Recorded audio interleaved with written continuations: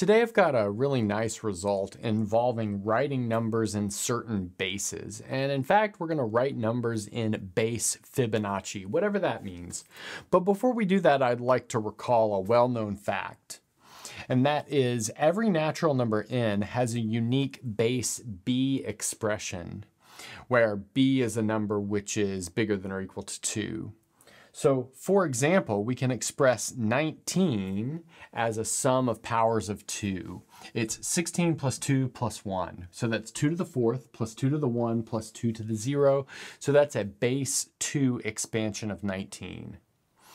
Furthermore, we can write 37 as 27 plus 9 plus 1. So that's 3 cubed plus 3 squared plus 3 to the 0. That is a base 3 expression. Now notice we've only got coefficients of 1 for all of these powers of 3, but since we're working base 3 here, we could have coefficients of 1 or 2. And that's exhibited by this next uh, example. So 28, that's the same thing as 16 plus 12, but 12 is 3 times 4. So that's 4 squared plus 3 times 4 to the 1. So that would be our base 4 expansion of 28. So notice the coefficients of powers of 4 here are allowed to be 1, 2, or 3. So in general, we can write n as d0 times b to the 0, d1 times b to the 1 plus all the way up to dk times b to the k, where these dj's are between 1 and b minus 1. And this expression is unique. So we won't prove this, but this is the base b expansion of the number n. Okay, so what we'll show today, which is like sometimes thought of as a base Fibonacci expansion, is also known as Zeckendorf's theorem. And so it involves kind of redefining the Fibonacci numbers just very, very slightly. We're kind of shifting them a little bit.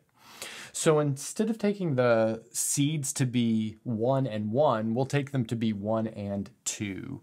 So we'll take the first Fibonacci number to be 1, the second Fibonacci number to be 2, and then we'll let the recursion take over. So like I said, this is just a shifting by one. So these have exactly the same numbers as the standard Fibonacci numbers. And then Zeckendorf's theorem says that every natural number n can be uniquely expressed as a sum of distinct non-consecutive Fibonacci numbers. Okay, before we dive into the proof, let's get a chart on the board of some examples of this happening. So now let's build a chart for some small numbers and their base Fibonacci expansion. So we've got n over here and we'll do the expansion over here on the right bit. So let's notice that 1 is the same thing as the first Fibonacci number. So that's our only expansion of 1 as a Fibonacci number. Then 2 is the second Fibonacci number, so that's F2. And then 3 is the third because 3 is equal to 2 plus 1. So that's not super interesting. But let's notice that 4 is equal to F3 plus F1. That's 3 plus 1. So we can write that as F3 plus F1. Now let's notice that that is a sum of distinct Fibonacci numbers, and they are also non-consecutive. F2 is between each of these. So that's the condition that we have down here.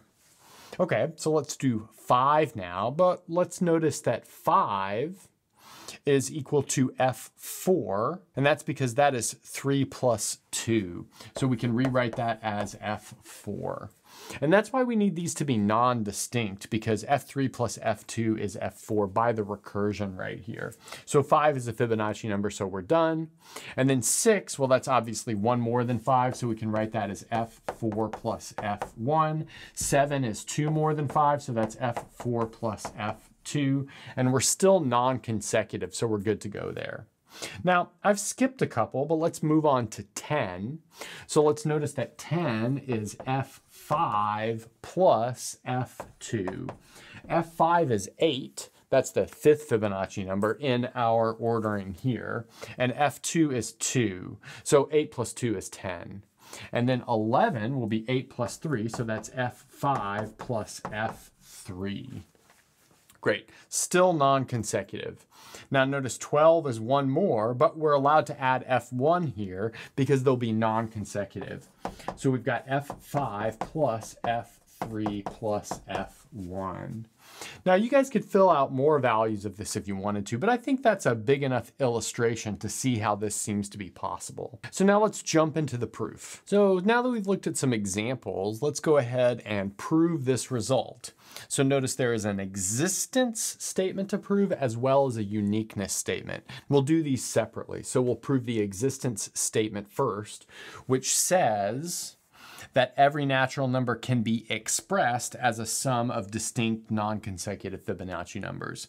Then later we'll show that that expression is unique. So we'll do this existence proof by what's called strong induction. We don't need a base case here. Well, we do need a base case because it's an inductive proof, but we did a bunch of base cases on the chart in the previous board, so we won't reconstruct those. So now let's make our strong induction hypothesis, which says this. So suppose for all m, which are between 1 and k, including 1 but not including k, we have an expression of m as a sum of distinct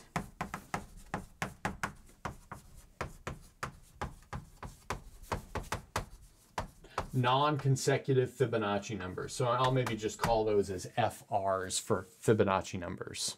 And now we want to consider the number k. And so this actually splits up into two cases, one of which is very, very quick. So if k is a Fibonacci number itself, so in other words, if the number k is equal to fr for some r natural number, we are done. There's nothing else to do. It's already expressed as the sum of one Fibonacci number. So let's maybe move on to the second case, which is if k is not Fibonacci, so it's not a single Fibonacci number. But if it's not a single Fibonacci number, then it lies in between two consecutive Fibonacci numbers. So that means there exists some j where f sub j is strictly less than k, which is strictly less than f sub j plus 1. So those are the two Fibonacci numbers for which k lies between. So next up, we'll apply our induction hypothesis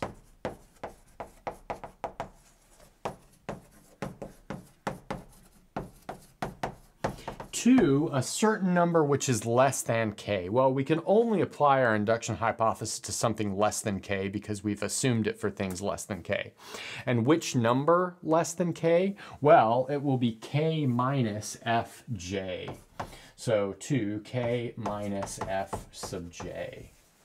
So what does that mean? That means we can write k minus fj as a sum of non-consecutive distinct Fibonacci numbers. So in other words, it can be written as fm1 plus fm2 plus all the way up to fmr, where these are distinct and non-consecutive. We can actually rewrite that in terms of an inequality as mi plus 1 is bigger than or equal to mi plus 2. So being strictly bigger than mi means that they are distinct, and being strictly bigger than mi plus 1 means that they are non-consecutive. But now let's take this number k minus fj and do something with this inequality right here. And we'll do something with that inequality by subtracting fj from all parts. So let's note that k minus fj is less than fj plus 1 minus fj. But fj plus 1 minus fj is exactly equal to fj minus 1 just by rewriting this recursion a little bit up here. But why is that important? Well, if k minus fj is less than fj minus 1, so that means that none of these Fibonacci numbers here are equal to this fj minus 1. So that means that fm maybe sub k is not equal to fj minus 1 for all mk. But in particular, we'll use that the largest one of these is not equal to fj minus 1. Notice by the ordering that we have right here, the largest one is fmr. So we have fmr is not equal to fj minus 1. Okay, so like I said, these are going from smallest to largest. The largest is not equal to fj minus 1. So that means if we add fj to both sides, well, that means that we will not have consecutive Fibonacci numbers, but that's exactly what we want.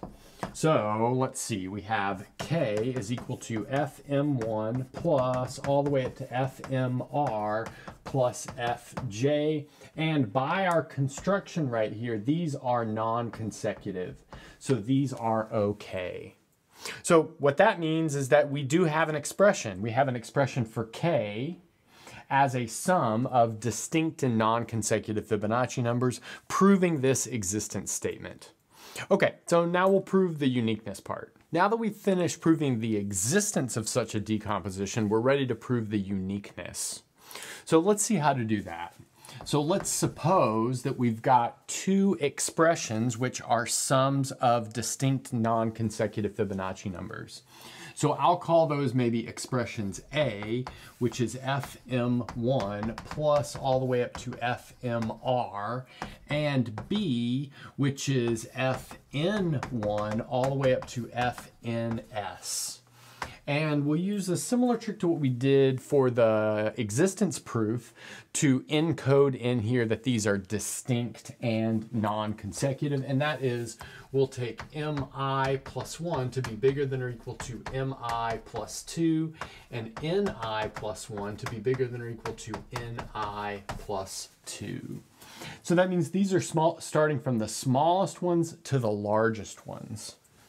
Now, I'd also like to point out that without loss of generality, we can assume that none of the Fibonacci numbers in this sum are equal to any of the Fibonacci numbers in this sum. And that's because, well, if they were equal, we could just like subtract them from both of these terms one at a time until they are all distinct. So like I said, without, general, without loss of generality, fmi is not equal to fnj for all appropriate n and j. So in other words, this list right here is totally separate from this list right here. Okay, another thing that we can assume without loss of generality is that one of these ends at a bigger Fibonacci number than the other. You might say, well, what if they ended at the same Fibonacci number, but they can't by this assumption right here. So let's also assume that this FMR is less than FNS. Okay. But we want to push that strict inequality to a non-strict inequality and observe that this implies that FMR plus 1 is less than or equal to FNS. So that's the Fibonacci number after FMR. Okay, good. So now this is our setup which we'll use to finish this whole thing off. Okay, so now let's look at our number A. So let's just rewrite that. A is equal to fm1 plus all the way up to fmr but let's notice that this is less than or equal to the following expressions, which we need to do in a piecewise manner, which we'll see why. This is less than or equal to F1 plus F3 plus FMR. And this is the case when MR is odd, right? So we're allowed to add every other Fibonacci number and so we can exchange this distinct non-consecutive sum with sort of the largest distinct and non-consecutive sum that includes these terms here. And that would be something like this. Or if MR is even, it'll look like F2 plus F3 ending at FMR. So that's going to be if MR is even. But there are nice Fibonacci identities for the sum of all the odd Fibonacci numbers and the even Fibonacci numbers. And these are going to look slightly different than they might look in a standard setup because we've got this kind of shifted Fibonacci numbers here. And in fact, both of these are equal to FMR plus 1 minus 1. So we have FMR plus 1 minus 1 where one of those plus ones is happening within the in index and the other one and the minus one is happening outside of the index. So putting this all together, we have A is less than or equal to FMR plus 1 minus 1, which means it's strictly less than FMR plus 1 if we just leave off the minus 1. But that's less than or equal to FNS by this inequality right here. But then FNS will be less than or equal to the sum of all of these FNs. So FN1, FN2, plus all the way up to FNS. But that's equal to B. So in the end, we have A is strictly less than B. In other words, A is not equal to B. So what we did is we took two sums of distinct non-consecutive Fibonacci numbers and we showed that they were not possibly equal, which is exactly what we need for this uniqueness. And that's a good place to stop.